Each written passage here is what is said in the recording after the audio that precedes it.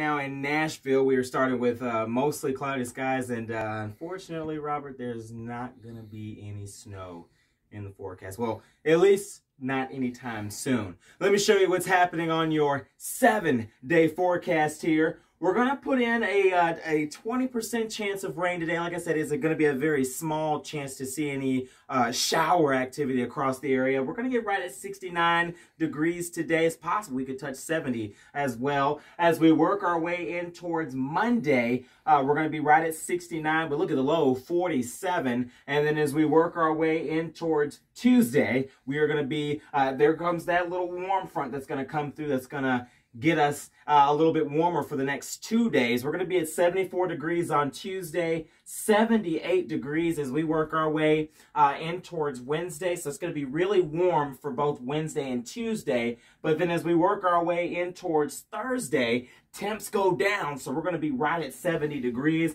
And then there you'll note for Friday, 71 degrees. And then for the upcoming weekend ahead, taking a look now at Saturday, we're going to be right at 77 degrees with that low of 58. Now there is Another small rain chance that will work its way in across the area for Sunday, uh, for Saturday. But again, it's a very small chance and it's only a 20% chance. So make sure you stay tuned to the Storm 12 HD Weather Center for the very latest information on that. We'll make sure to keep you on air, online, updated with everything on air, online, and on your mobile device. Have a fantastic rest of your day.